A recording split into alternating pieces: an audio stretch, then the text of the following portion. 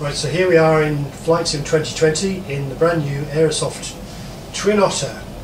Still in beta of course, but we're going to just take a short trip today. I'm going to fly an ILS approach into Manchester, which is a flight I've done several times before, but I just want to do this by way of comparison, direct comparison with previous versions of the Twin Otter and of course the Sim. The Sim just looks absolutely gorgeous in um, well everywhere but particularly in this vicinity.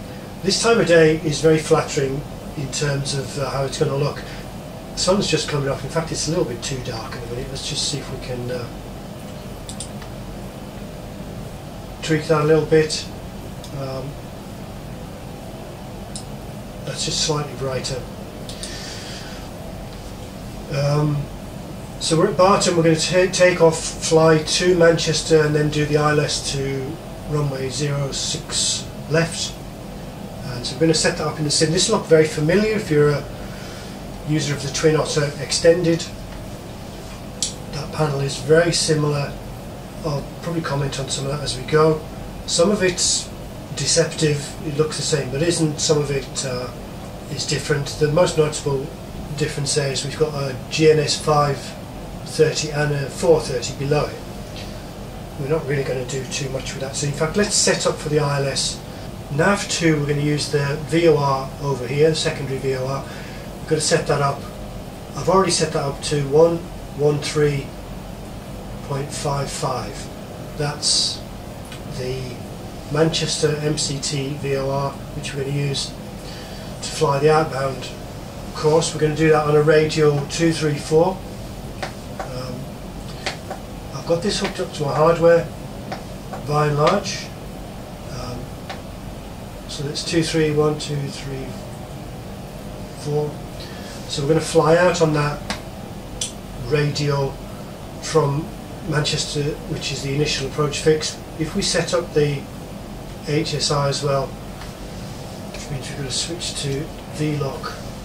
We're going to set up the final approach course, which is 054. Try again. One, two, three, four. Press the CDI button to go back to GPS. Now then, we can only fly this approach officially if we've got DME. We don't have a DME receiver in the new Twin Otter. It used to be uh, down here somewhere. You, you probably noticed that we've got a new box in here as well which is the Bendix King KAP 140 autopilot. That's the primary auto, well, it's the only autopilot in this aircraft, which is a big difference from the previous version. Um, we'll say more about the autopilot as, as we get underway. We do need to set up that um, ILS on NAV1. We need 109.5. Switch that in. If we go onto VLOC again, we should see that come alive. Okay, So there we are. So that's what we need, everything's set up. Well, we need uh, pre-select uh, altitude that we need to be at at the initial approach fix, which now, pre-selecting the altitude, we, we, we would have done it up here, and in fact we'll see it up here if I dial it. We need uh, 3,000 feet. We're actually dialing this in on the Bendix King KAP 140 if you look at those numbers changing as I twiddle my knob. So to speak, uh, 3000, that's what we want. And the final thing we're going to do is, um, and this is, I, sorry, I started to talk about the DME and then stopped. Because we don't have the DME, which we need for this procedure, we're going to fake it by distance shown on the GPS. So if we dial in Manchester as a direct 2, using the default GNS 530 here from FS 2020. You can use the the free, uh, I forgot what it's called now, but the free upgrade for that, which does add a lot of improvements. I'm not doing that in the interest of just keeping um, as close to the raw beta version as we can for testing purposes. Okay, let's get airborne. We've got flaps 10 and uh, then we'll talk more as we go. So this is Barton, which is a beautiful airport, default of course in the sim. Um, we're not really going to take much of a look at it today, we're just going to get airborne and get this procedure underway, not accelerating very quickly there. That's enough.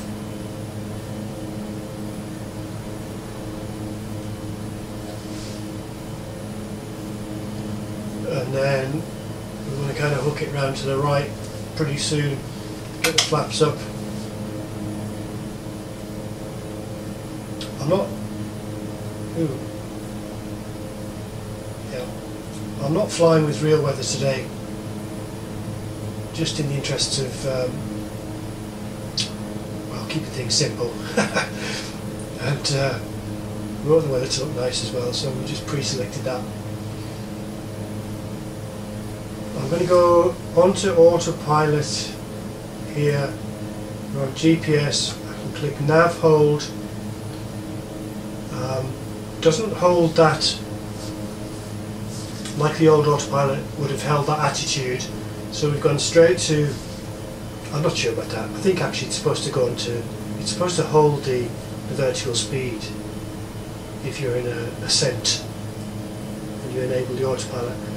But anyway, we're going to just hit um, dial the vertical speed up a little bit, go up to let's say 1500 feet per minute and we've had that altitude pre-selected so we should get altitude alerts and so on. In fact there's the altitude alert. That's a different chime than we had in the Twin Otter Extended and that's because it's actually coming from this KAP 140. Um, this autopilot here, the AP106, unfortunately, although it appears on the panel, it's it's entirely non-functional in this new version, other than as a kind of echo of the KAP 140. Now that doesn't always make sense, but I mean you can press these buttons um, in preference to the little tiny ones down here. And in fact the indications will be echoed as well. Um, you can pre-select the altitude up here. And we do see the altitude alert here. But crucially these buttons are well what used to be buttons there's some argument about whether these are just indicators or should be buttons over to the left for the MDA altitude alert and go around those are non-functional in the new sim in the new version but the KAP 140 is a good autopilot. It does everything the old one used to do, and and more. It's just a little bit. It's just different. You have to figure out how to make sense of that. Flying on GPS towards Manchester. Manchester Airport's right ahead. It's right into the sun, unfortunately, so we can't quite see that clearly. But if we look on our fake DME, two miles distant, we we should see as we come overhead the airport, the VOR will start to move and we want to turn on the outbound radio. Let's switch to heading mode now. I'm doing it down here, but it is reflected up here as well. And we're starting to turn outbound. Um, hide the yoke by the way, that's a new feature. Couldn't do that in the, the old version.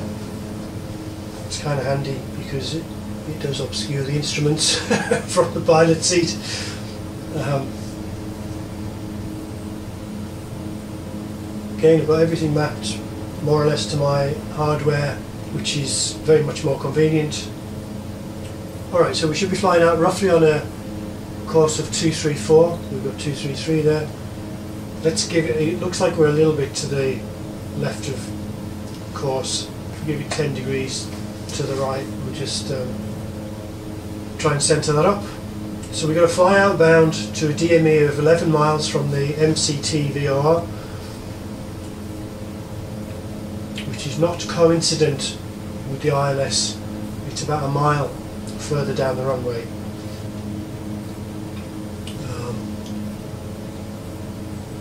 Now on the old flight sim default GNS, well G500 I think it's called, and the fake GNS 530 and the Aerosoft Twin Otter Extended, the ILS did have a distance readout, which which is inaccurate. It shouldn't have that. That's that's gone from the, the new default. So so in that sense, uh, it's more realistic but less convenient. About. Right, so we're centred up now on that radial. We'll go back to uh, 234 heading. Pretty much no wind up here today, so we don't have to do too much worrying about that. Um, looking at this terrain, just gorgeous. Default terrain in the vicinity of Manchester in the north of England. You don't know where that is, absolutely beautiful. You could do, you could navigate this completely visually with a map if we weren't flying on instruments today. So six and a half miles out. What else to tell you about this new cockpit? Um, so we've got, as I say, we've got a new autopilot, got an extra GPS. I haven't really explored this. Um, what we can do is two of them. Some of this is still work in progress, so we might see some glitches, some things that aren't working completely 100% correct. Again, if you're familiar with this region, you probably know what these buildings are down here. It's like some industrial estate down there. Um, okay, nine miles out. When we get to 11 miles out, we're going to make a 45 degree turn to the left fly for a minute, then reverse that, and that should set us up for a intercept of the ILS. So we're just coming up to that now. Let's set that up on if we come off heading mode, and we just set up that um, on the heading bug, and there's our 11 miles. So we're going to heading home now. It should turn us outbound. Right about now, we want to switch to VLOC on the GNS 530 just so we don't forget to do that when we'll switch on to approach mode. Okay wings level start the clock. So we go for a minute in this direction. So there's Manchester up to the top right of that display there EGCC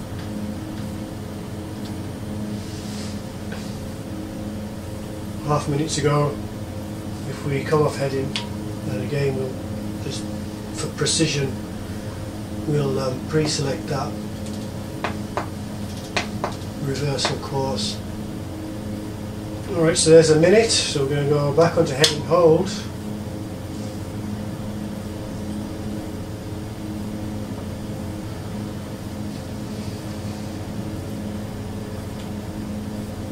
Now this cockpit, as I say, looks very familiar to users of the Twin Otter Extended.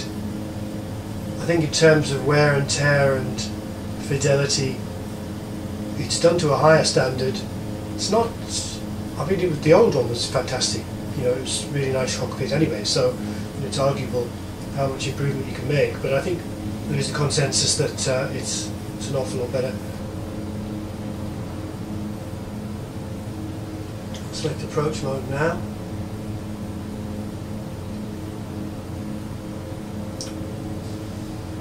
So we're rolling out on that.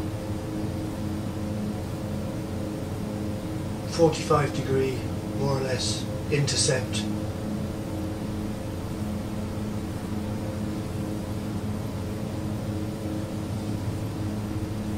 Coming up fast. Then we've got nav uh, localize the capture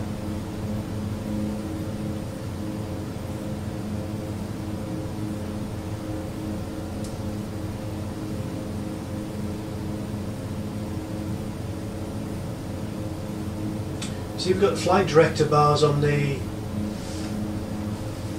on the ADI. I haven't really spent a lot of time with those um, to see if they behave strictly the same as they do in Twin Otter Extended. There'll be some differences because they're not, you know, they're working off a different autopilot. Don't forget. So that, again, all that AP106 appears in the centre of the screen. It's not really doing anything other than, where possible, echoing some of the settings on this. It's quite annoying that this Bendix King autopilot is all the way down here. It's very small.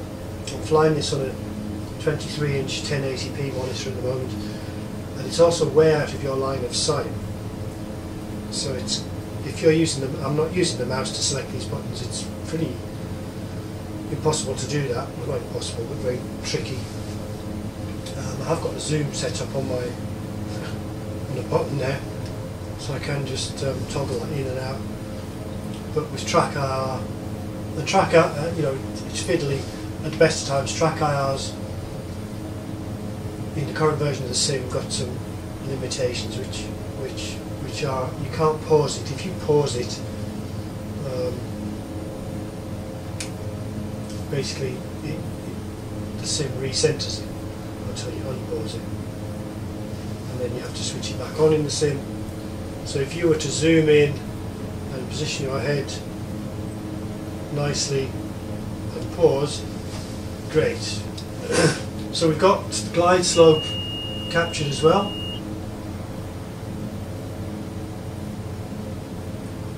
Uh, what was that beep? Not sure what that beep was actually. Well, maybe altitude alert again. So we're just going to ride this down to the ground. It's uh, in one sense it'd be nice if the weather was slightly murkier. Um, just visually speaking, let's see if we can make that happen.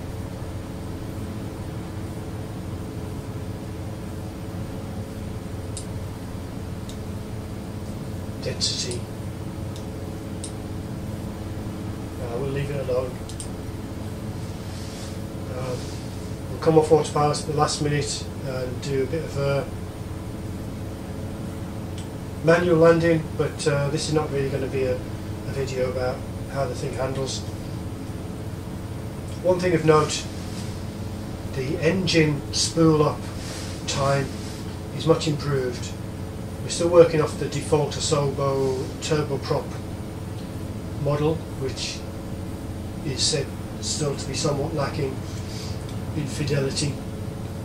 But in terms of response time, you know, that lag spooling up a turboprop in FSX or Prepar3D was was very very much um, in the way. Flaps 10 now. I'm going to come off autopilot and just fly this to the ground now.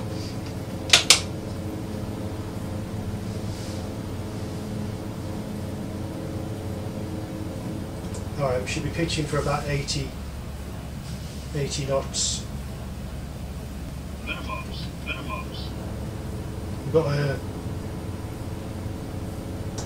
what do you call it, GPWS call outs and uh, alerts as well. 100. Okay, power to idle. The light slow. 40. Third light slow. 20. 10.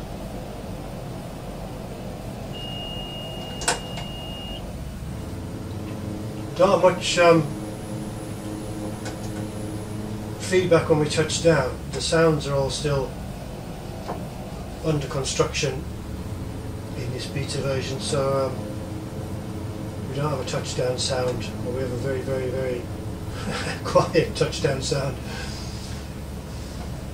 Taxiing on the ground, so much better than it was in Prepar3D with the Twin Otter extended.